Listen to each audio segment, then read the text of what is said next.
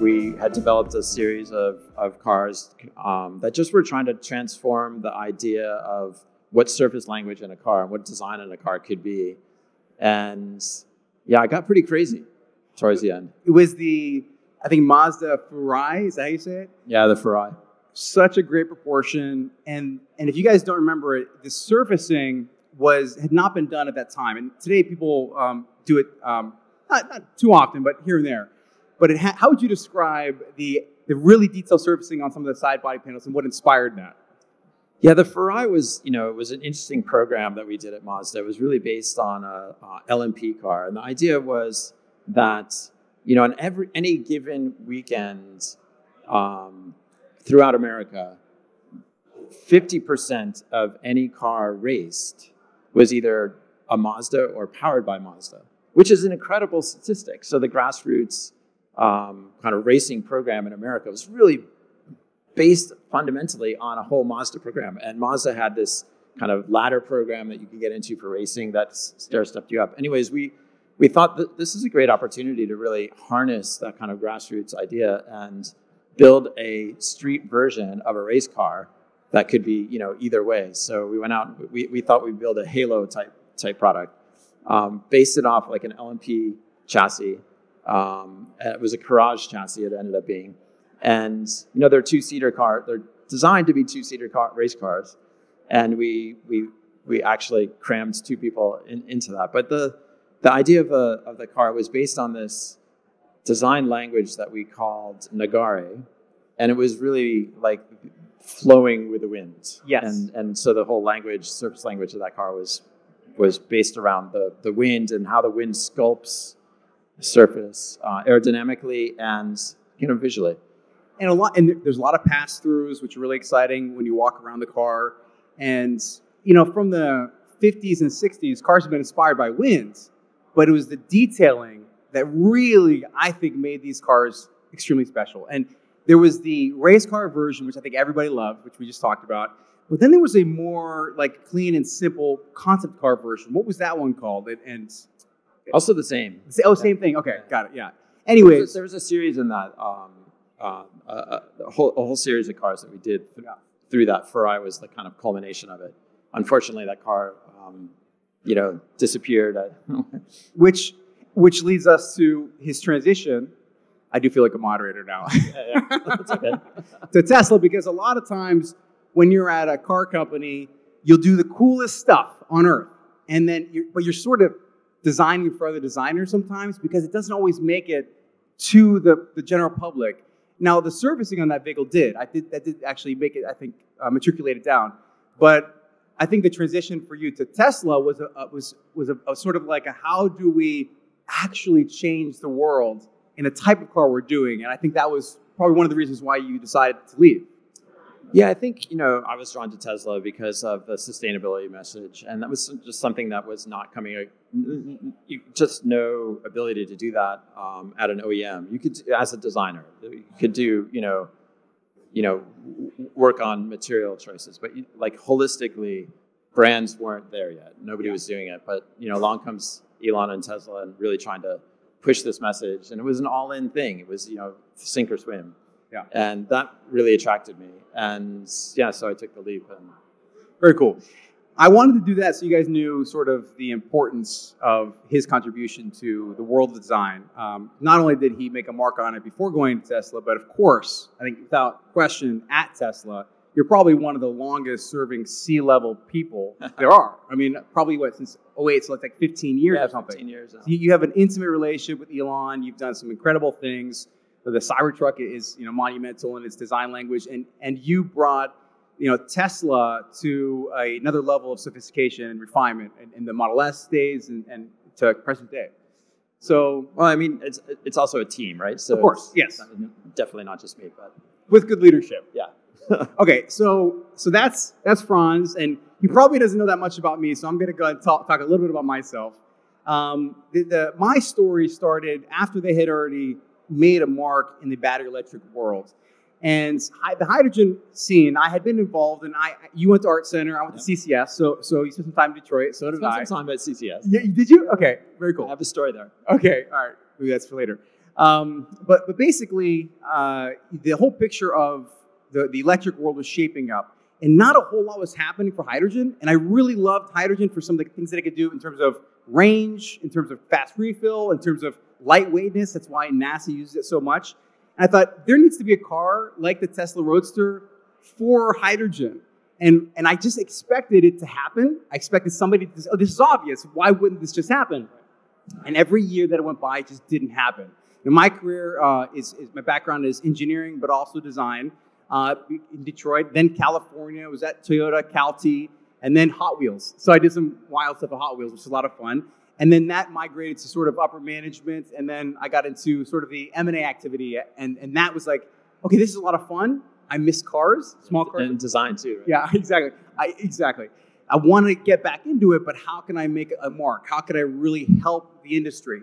And this is where I thought, okay, hydrogen industry needs something like this. Let's build the coolest hydrogen car that there is to tell the story of hydrogen. And that's why we built this XP1 vehicle.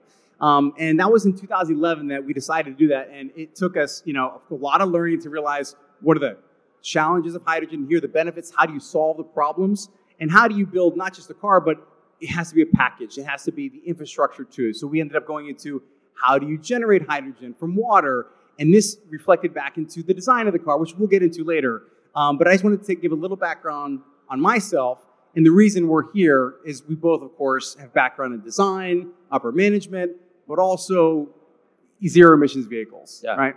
Which, of course, is a little bit different than the things we're seeing today, but will be the future of this e- uh, event uh, in about 30 years. So, so people kind of are starting to become familiar with the EV space. Um, you know, I think the the adoption rate is starting to turn. Like it's becoming. I mean, we've seen all the different brands around the world like r- really get into EVs. But talk a little bit more about hydrogen. I don't think really people understand hydrogen. I Okay. think there's there, there, there's some kind of barriers there that I think would be great to learn a little bit more about. I will, I will do that. Okay. So if you guys remember from chemistry class, hydrogen is the first element on the periodic table. And they don't just arbitrarily assign elements for fun. It's based on how much they weigh in their atomic, uh, you know, creation and, and uh, I guess uh, the composition. So it's it's very small, very lightweight, and because it's lightweight as a fuel, it's gravimetrically very energy dense. Now notice I said gravimetrically, not volumetrically. So the reason for that is when you have hydrogen, you either need to compress it or you need to liquefy it. And it's been used predominantly for fuel cell activity um, and for rocket fuels at NASA, right? And there's a lot of NASA connectivity, we'll get into that also. But if I had to summarize for the general public what hydrogen really meant, what was the, the, the benefits of it, what are the challenges? The challenges are there's not a lot of infrastructure. There are infrastructures in California, about 60 stations here, but nowhere else. The benefits are you could refill a hydrogen vehicle in about five minutes, and it's also electric. The byproduct is water, and you can create hydrogen from water, H2O. So you can create hydrogen and oxygen to create, of course, the fuel. And if you're in a rocket application, you're going to use the oxygen and the hydrogen, but in our application for cars, it's just the hydrogen. So you have this fast refill, then you also have this range. And I'll talk about why the range is so important and, and how you get there.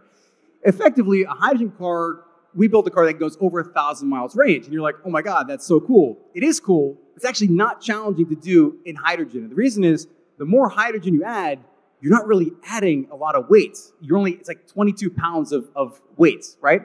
The tanks are larger, and so you have to make sure that you package it properly. For a sports car, it's easy. For a sedan, it's, harder. And so you want to look at technologies that, to store hydrogen better. This is some of the things that we do with NASA.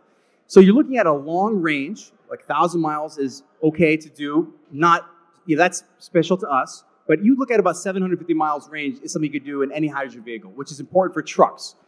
Nowadays, when you look at hydrogen's um, dominance in the market, it's primarily for industrial uses. Most people don't know this, but hydrogen is already used in the market for industrial scale uh, purposes, creating ammonia for agriculture, refining other gases.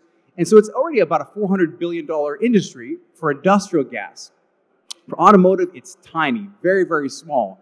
A lot of companies are doing it, but they are not ready to release these vehicles yet because there's no infrastructure. And so what we did was we said, let's build a car that talks about what hydrogen can do between range, fast refill, and durability. That's the other thing about hydrogen. It can last a really long time. You can actually make a fuel cell engine last 1 million miles in terms of its durability. And all these things, they're important, but not critical for passenger cars. So you don't need your passenger car to, to go 1,000 miles range. You need a passenger car to last, you know, 15 years. You, need, you do want a passenger car to refill quickly, but you what you need that thing, those things are are commercial vehicles. So trucking, long range trucking is where you use the most of that. And the other thing about it is that lightweight benefit, flying vehicles. So this is where anything with aerospace, hydrogen makes a ton, a ton of sense. And so we focus as a company on commercial vehicles. Of course, we built this really attractive, you know, sexy XP1 vehicle that that goes, you know, zero to 60 in two seconds and all those good things. But practically, it makes the most sense for commercial vehicles, and it also makes sense for flying vehicles. This is where we focus on, respectively. Do you do you see a future of you know just beyond the commercial adoption for just everybody, kind of the way that EV adoption is coming? Because it, yeah, it's you know what we found with with EVs, it's it's the infrastructure that's really important. It like really where do you, the, the biggest hang up that people have is the biggest question is like where do you charge? How do I how, Exactly. do, how do I make sure I'm not going to get stranded or stuck somewhere? Exactly. because you know they, there's not charging as prevalent at least i mean it's it's starting to change but like there's not a charging station on every corner like a gas station Exactly. so from a hydrogen perspective how, how Where does that the- work does go? Yeah. Okay, so I'm glad you asked that question. so basically, you, hydrogen starts at what's called return to base refueling. So fleet vehicles use it easily. As those infrastructures start to get built up for fleet vehicles like buses, like commercial trucking, class six, seven, and eight vehicles, you start to matriculate down to other types of vehicles. To your point, absolutely, I see the need for a hydrogen truck uh, for like passenger perspective to be the next iteration of hydrogen. And separately, what is that going to happen? We need to build out this infrastructure. And so the infrastructure is going to take time. It's going to take five years to even connect the two coasts, West Coast and East Coast here, because currently it's just on the West Coast. So it'll take time for the infrastructure to come. And in the meantime, we'll see commercial vehicles. But let's say in seven to 10 years, you go to a dealership and you can say, look, I'm going to have a choice. I can buy a battery electric vehicle, and these are the benefits. It's much simpler, but I have this range anxiety. I kind of have this challenge with, with charging, but I can also buy this hydrogen vehicle where I get this extra range and this fast refuel, and there'll be stations to support that. So over time, as there's more stations, it will come into play.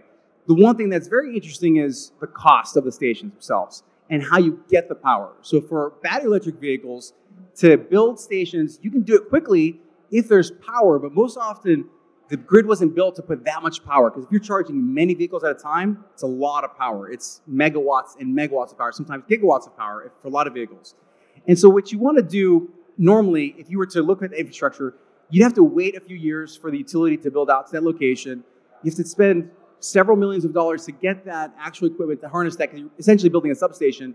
And to do that, it's very challenging. Whereas with hydrogen, what we did was we built a mobile refueler that has a lot of hydrogen aboard that can be placed many places and be refilled. And how it can be filled is two ways. It can generate its own hydrogen by splitting water using solar and also grid energy.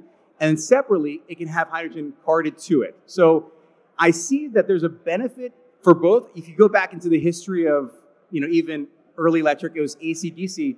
You're going to want both in the future for different applications. Of course, the benefits of electric, battery electric being very simple, small vehicles, ready to go, home charging. How do we make hydrogen more available to people, more stations? And how do we make it so that they can buy a, a vehicle from, from companies like ours? Not just sports cars, but trucks that make a lot of sense. Because we, good. One more question that we also had to overcome with the, in the EV space is safety.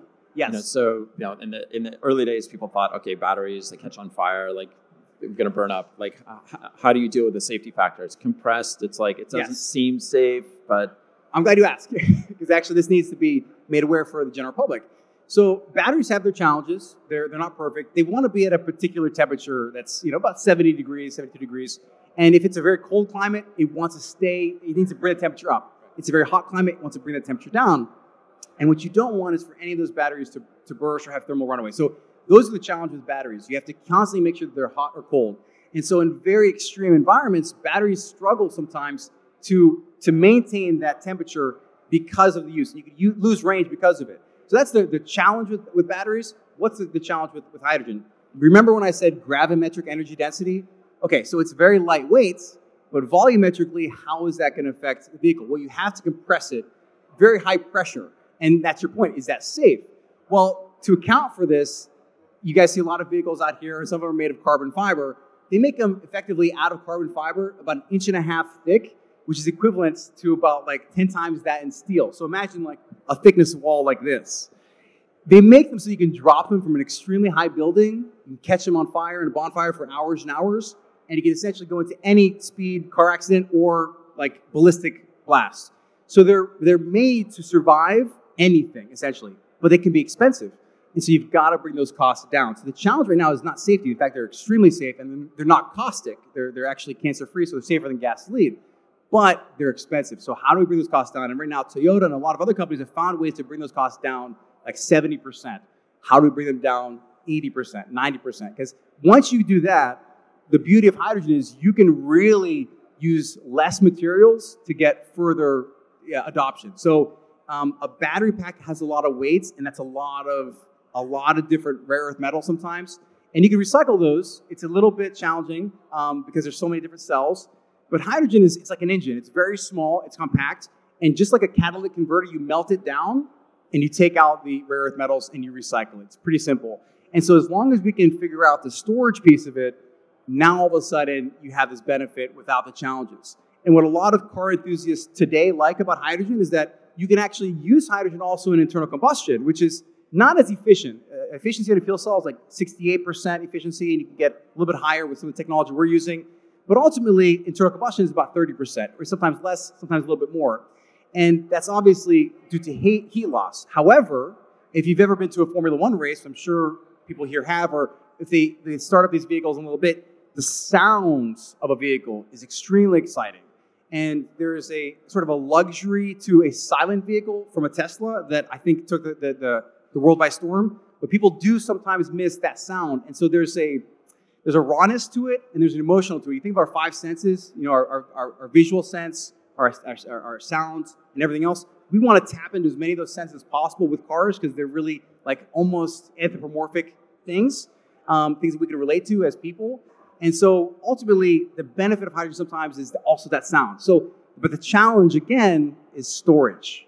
So, you, you, you brought up ICE, the, the internal combustion engine. Yeah. Like, so we're here, we're looking at amazing 100 plus years of uh, internal combustion engines. You know, there's the transition from the carriage to the, the, the vehicle really happened actually through electric vehicles first. Yes. Until the, uh, was again it was an infrastructure problem, but um, internal combustion engines have been we, we we've grown up with generations and generations of those. But both of us are kind of sitting here putting out a new form of transportation. A new uh, you know we're we're basically saying internal combustion engines no longer. Um, what do you see a world where there is no more manufacturing of internal combustion engines, and how soon do you think that's going to be here? Because I think that's a question that everybody has. Yeah, so it's a really good question, and uh, I've had some conversations with some of the folks that you'll probably be seeing um, at the, the Quail itself. And for this event specifically, if you think about a watch, I'm wearing like an iPhone watch right now, and, and I don't, but that's that's not that's a more mechanical system.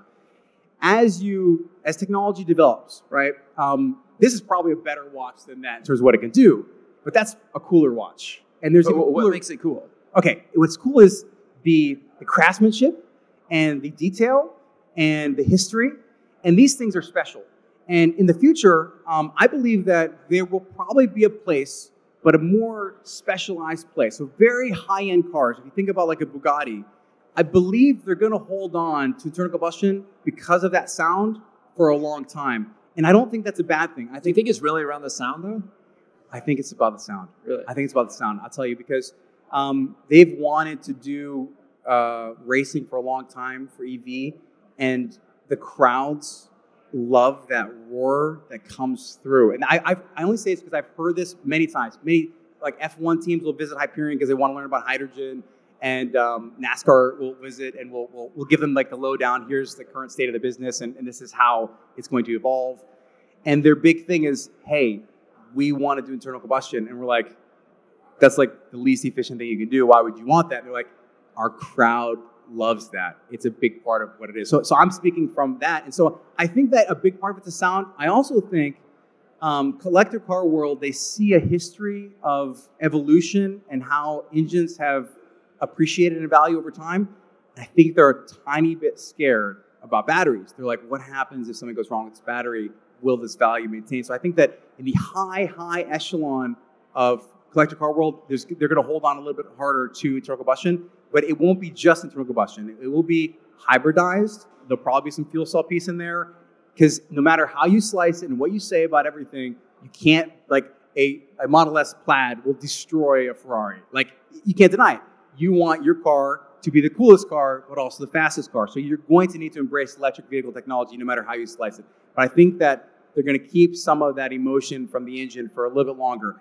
The rest of the world will, I think, um, be a little bit different um, and evolve to electric faster. And there's mandates to push that. But I think electric car world, particularly, is, is going to be different.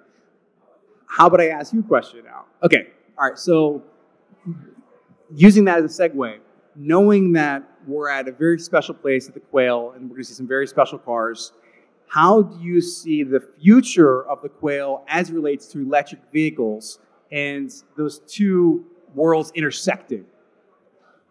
Yeah, I mean, I think that's kind of what I was getting at. There, there we're, we're, at this. There, has been a few transitions in history that have that have happened. Obviously, the you know going from the the carriage to the horseless carriage transition 120 years ago, let's call it.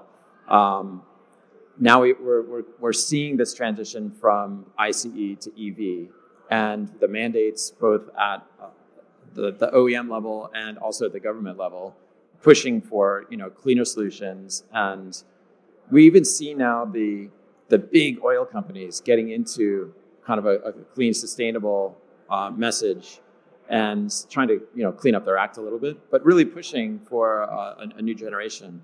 And I think you know there, there's one more generation that one more future that's about to hit us, and, and we start to see it with this kind of Chat GPT AI moment, yeah. where suddenly this idea of autonomy and not having to drive anymore um, and being driven, chauffeured around as a convenience um, coming coming at us. Like it's, it's it's it's right in front of our nose. And how is that going to shape transportation as we know it?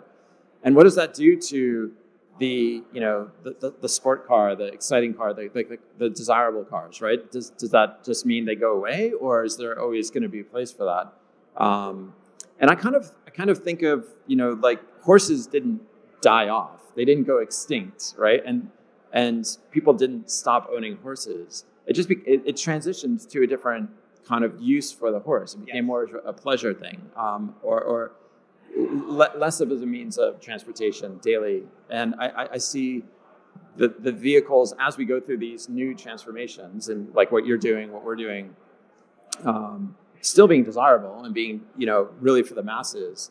But then that kind of top end uh, vehicle uh, being you know maybe the regulations won't allow us to drive those vehicles on the road or any of these vehicles that we're looking at here um, or that we've been collecting over the years. And what do we do? Um, is there, you know, is there a new formula around that um, where it becomes more of a sport or an activity or a kind of a, a regulated space? You know, you see there's there, there, there's plenty of um, tracks with homes on them where you can kind of join the club and the community and, and be a part of that. Um, and maybe it, that just expands. Um, it's it's kind of a curious moment right now, and I don't know that anybody has the, the the, the crystal ball to see where this is going, but it's coming very quickly, and I yeah. think AI is going to rapidly transform our future in ways that we can't really comprehend yet, and s- solve problems way faster than the trajectory that we're used to solving them. Um, and I mean, I, I have a couple collector cars. I wonder where that's going to go. Are they just going to sit and you know become a museum piece, or are they going to be something that you can still use like on the weekend or occasional you know occasionally use? I have I have thoughts on this. You made such an awesome point comparing it to horse racing and horses. Um, I was just at the Kentucky Derby, and it is as popular as it's ever been, probably more popular. Yeah. Because, but also the, the people going, it's a different type of person, right? It's a different type of person that's going, looking for a specific thing.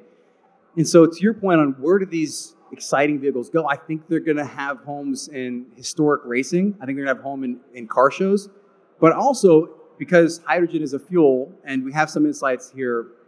There's going to be things called like net zero fuels, right? So you'll be able to use these vehicles because they were produced in green ways. So you could actually use, for example, um, water and solar and wind to create an actual liquid fuel that's carbon based. And the idea is if you're creating it from green ways and it's still emitting carbon, it's sort of like not helping the environment, but it's in the middle. And I think that's going to be a baby step that we're, they're going to say you can drive these older cars without a lot of conversions or anything but you're going to have to use a, a, a net zero fuel based in hydrogen, making sure that it's made in a green way.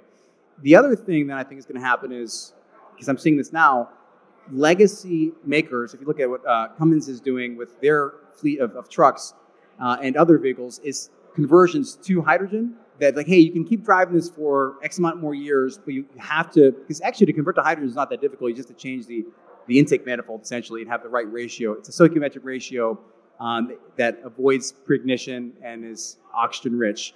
And ultimately, you can do that by just adding to your cylinder head. Whether you want to do that to your Ferrari, I don't know, but an older MG, maybe that's okay, right? Um, and so there'll probably be uh, maybe another level there. But you're right, like after that, that's pretty much it. But you do know that there's so many popular outfits are retrofitting classic cars to electric also. And it's become extremely popular a lot of them doing it in California, and they've got a list that goes beyond what they can even you know produce. So I think there's gonna be a mix because the, the classic car styling is something that we all I think love and appreciate. And but but yeah. so let's touch on that for a second. So you know, so many of the cars that we see like out on the lawn or at Pebble, you know, were like coach built. A lot of times they're one-off cars where the you know the original manufacturer so, sold several cars a coach builder comes and tweaks it, changes it, modifies it, maybe for an individual or something. Isn't that kind of what's happening now? I hope so. As with these transitions, and so where, where, where does that lead us? You know, into the future. I think. I think I think it leads to cooler cars, right? I think uh, I saw like a Super Superleggera outside, and, and these are famous like Italian coach builders that did some crazy cool stuff back in the day. And you're right, if you can give someone an electric chassis, and the cool part about like battery electric specifically is the package is so simple that you can build almost anything on top of it. So there's probably a future where companies like Tesla can say, here's a blank chassis, it's been crash tested, you can technically drive it as it is and, and, and be safe. Um, but you can also sell it to an outfit that's doing cool things with it and it's doing really fun retro design or futuristic design, and they don't have to worry about the propulsion system. And so maybe that's the future we all can live in because that would be, I think, a fun one from a from a designer's perspective and from a consumer perspective. Because what we all can agree on, I, I hope, I think you agree on this, is that we don't like when cars all look the same. We want them to all look different because we're different and and they're fun when they're all different and we can all appreciate them. And when you look outside on the lawn uh, today and on the block uh, in a few minutes, um, it's really you'll see so many different styles.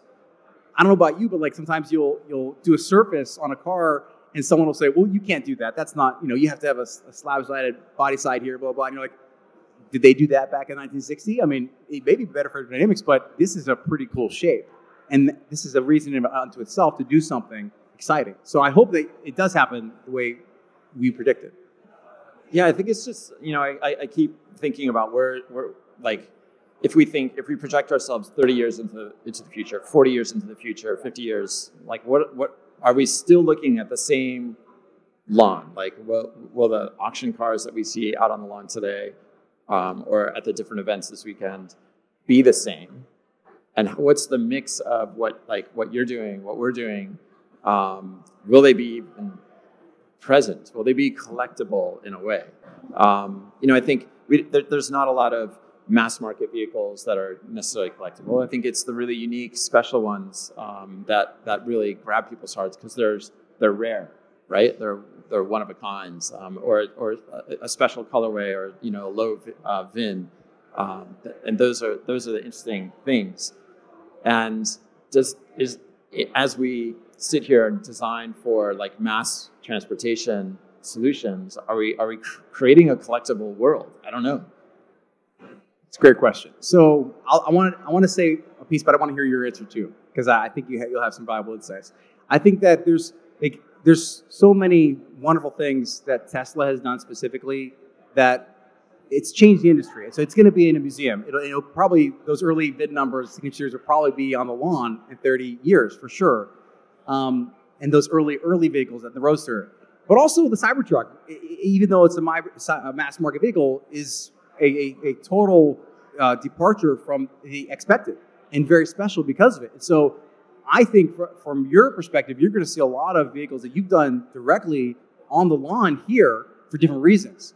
And that's the point that I wanted to make, and then I want to hear your answer. But the point that I want to make is when a car is special, you said special a few times, right? What is special? I think it can be defined by a few things. But the one I want to highlight right now is it was loved. And it can be loved by many things. Loved by the designer, loved by the whole team that built it, loved by the markets, and for different reasons. Because when a car is loved, special considerations are made. You, you have uncompromising um, decisions. Effectively, instead of saying, well, we've got to do this because it's, it's low cost, no, no, we've got to do this because we're trying to make a statement and we need to inspire people. And so I think that I'd like to, in, in 30, 40 years in the future, see all types of vehicles, uh, electric propulsion, uh, hydrogen combustion also, um, and even more advanced flying vehicles, right? Here, under the condition that when you look outside, they're all special, and they also will be all special. Because at the end of the day, this is a pedestal of the greatest cars on earth, and the future will also be like that. I, I mean, I like the idea of them all being special, but I think there, there's so much innovation in a lot of these vehicles too. And there's like you, you can probably walk around and see innovative moments on pretty much any vehicle that is desirable, right? Um, and I think that's the, the, the innovation part is I think what ends up making the car special, and maybe what like triggers you to like something versus maybe me liking something different. Yes. Um, I'd be curious to hear what triggers you? Like, what makes a car special to you, or what do you have a favorite, or is there something that you I do. aspire to, or you already own, or? So, I mean, my, so I know your history a little bit, and so I want to hear about because your your father was in automotive design too, right? He was not. He was, he was not a okay. designer, but not. Okay, okay, got it. Yeah. The designer, okay. And I want to hear about this your history from the very early days. Cause I think that can that can be very reflective. But for, for my history, I got into cars because my, my dad was really into cars, right? He wasn't like as a business involved in cars. He was in law, but cars was clearly his passion. And that passion transferred on to me. And, and what, what made me really start loving cars was once you get to that age where you're like, okay, like I want to be independent. I want to want to find that, that mode of transportation that's going to sort of represent what I think is me. You start to realize, oh my God, like there's a whole language of cars out there, and I don't know which one represents me, but I've got to find out, right? And um, it was, for me, um, one of the first cars that I fell in love with, It's just because of happenstance, was an MGB, like, which is not a bad looking car. It's pretty simple, right? Um, but uh, it was the fact that this MG had no engine, and I, I, wanted to rebuild it with my dad. And I got this very special time with my dad to rebuild that. Just a straight four cylinder engine together. And that ignited my love of cars. And once I got a little bit older and more familiar with, with vehicles, I really um, became obsessed with okay, what what do I what's my contribution to the car world? And for me, I love design, but I also love engineering, and I I don't love one more than the other. And when you go to like design school, there's some very talented people out there, like this guy. Um, what makes you special? What makes you stand out? And what made me special was that I understood engineering to a point where I could use different things to make the car special because of the engineering, right? And so I was very right brain, left brain. And growing up, the car I became obsessed with was the 1970, uh, well, technically 76 concept vehicle, the Lotus Esprit. It was the Lotus Esprit I fell in love with, and it was because it was two titans of industry coming together to create something very special. It was Giorgetto Giugiaro creating this simple proportion where he was like, proportions everything, detail is tertiary. And if you have a dramatic proportion and simple, clean lines, you can get some amazing, long lasting shapes. And he was right. And Colin Chapman at Lotus was similar in his thinking, which was hey, one part doing as many jobs as possible. And together you have a very lightweight vehicle, which in its simplicity becomes special. So both vehicles were just honed in on simplicity. And ultimately, ultimately what you have is something that I think the world had not seen. And to me, resonated with me as a right brain, left brain person. So from a from a introduction to cars perspective, it was a little old MGB with no engine that I got to rebuild with my dad. And from a what is car to me, it was a, a 1976, actually it was a 77 that I ended up uh, collecting myself, but was that first generation Series 1 Lotus Esprit. And that was very special to me for those reasons of the engineering plus design, equal parts, something special. It's interesting. It was definitely one of the inspiration vehicles that I was looking at when we were exploring how, how do we make this Cybertruck. Well, what, what became the Cybertruck? Because um, that was a really interesting time where we were looking at a new market for where we could bring um, electric propulsion. Pickup trucks were definitely, uh, they're still the number one selling vehicle in America, uh, the F 150 kind of range of pickups. And it's such an opportunity, and we need to clean that up. And so we were looking at how do we how do we get into this market and do it in a way that's unique and different because we can and and you know using first principles and a different perspective of looking at solving the problem from an engineering perspective and so started looking at for, for the same reasons that you just brought, brought up the the esprit and then kind of delving into that a little bit more and looking at the simplicity of of how do you create an exoskeleton type vehicle and you know, because ladder, ladder, a ladder frame, kind of body on frame type vehicle is pretty inefficient from an engineering perspective. And there's there's some benefits, but the the the, the cons outweigh the pros. And um, and, and, and looking at this kind of exterior skeleton thing and, and creating the toughness on the outside and all these all these things and looking at simplicity again is something that we do inherently at, at Tesla. Like our, all of our interiors are incredibly simple. Like the, the car's lacking any excess. It's you know in, in designed to be efficient. But the Cybertruck was different. So you know we started looking at these materials, and the, the material story really became the language of the vehicle. And so I started looking back, like the Lotus, like what Gandini was doing, you know, creating this kind of wedge era. Because if you kind of simplify the silhouette of a pickup truck, it really is kind of a wedge in a way. If, you had to draw just in like two lines to get from A to B, it's kind of two lines from the nose to the tail, and that's that. That was its rawest, most basic form. And then it was just how do you make that into a vehicle that you can actually use and access and get in and out of. And um, you know, I, I, ended up looking a lot at you know stealth stealth technology, and F-117 was really amazing, but not attainable. We couldn't go out and like readily get one or or, or collect one or anything. Um, but Gandini was kind of at the same moment in the early, late 60s, early 70s, where there's this kind of similarity of vehicles. Through the 60s, there was this kind of body language, soft, round, really kind of simple. Um, and I think he was looking to break that up a little bit. Yeah. You know, look look for a different way of bringing excitement and, and uniqueness uh, through simplicity again. And I think the LP um, for for Lambo was was definitely so radically different as a car that was attainable. Um, and we were kind of at the same moment. We kind of did something that was so radically different to become attainable. Um, and so I have a, I have a lot of strong parallels yeah. back to that moment. It's fascinating, very fascinating. Um, What's interesting now, owning um, uh, you know one of those early Lambos, is how actually not sheer and um, you know you think of the, the, the early Countach as being just really planar and sheer. That the amount of love that goes into the surfacing and language and the and the, just the finesse of uh, of that car, as brutal and raw and like you know planar as it looks, it's absolutely not. Exactly. That that's the craziest thing. yeah. yeah. Same with the Esprit. I remember at first you're like, oh, it's just all flat planes, and then you you look at it like, oh no, every single one of these planes has curvature to it, and that's why it's beautiful yeah. as well. And and same people when the you know it was a, uh, a complete departure when you guys built the the Cybertruck and people were like, "Oh my God, that's that's too simple." But then you start to familiarize yourself with it. You look closer and you realize, wait a minute, like it looks planar. It's not. Like there's curvature, right? There's curvature. There, there's some curvature in the manufacturing process. Is stainless steel panels, right? Yeah. So, and and the hardness being on the outside, I mean, the, the panels can stop a bullet.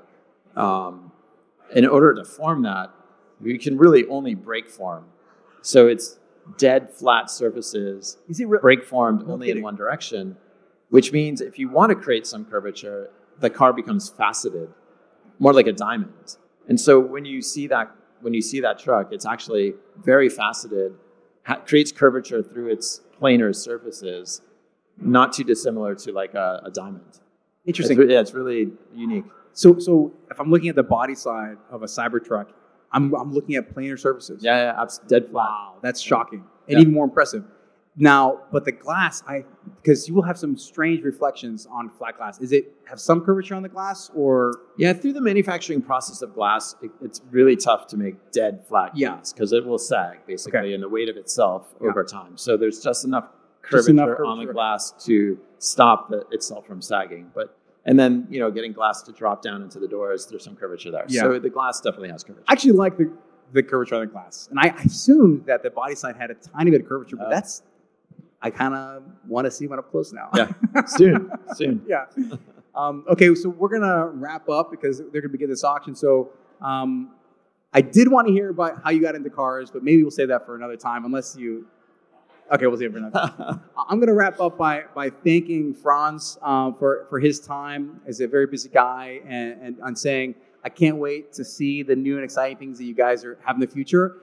And I also can't wait to show the world and yourself some of the fun things that we have planned for hydrogen because our first vehicle getting out there was exciting, but it's really about the other types of vehicles that you can build. So I'm, I'm looking forward to, to sharing that with you personally and also, you know, professionally in the design world because it's, it's going to be a fun future. I, I also think, thank you for that, and thank you for the, the accolades, and, and likewise. And I, I look forward to, you know, fast forwarding 30 years from now, if we were sitting on this stage and kind of reflecting back and then looking at, at you know, what might be coming across the block here, what's out on the lawns.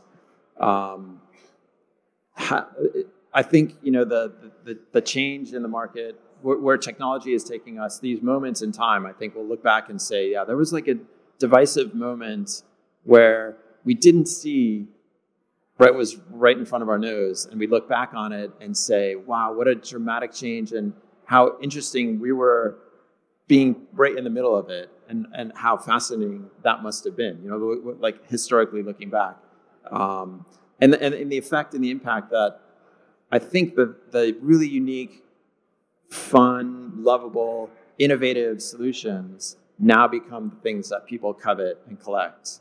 You know, you, you mentioned your watch. You know, in 30 years, is the battery still going to work? Is it going to be something that you could just put on and, and use? Maybe, maybe not.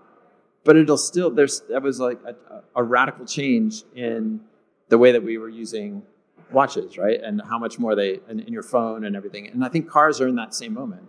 And I think we'll look back and say, wow, you know, there's that moment in time where this convergence of all these things happening really created a whole new era. I think people couldn't really, you know, when the transition of the, the, the carriage to the horseless carriage, they couldn't fathom what that new world was going to be.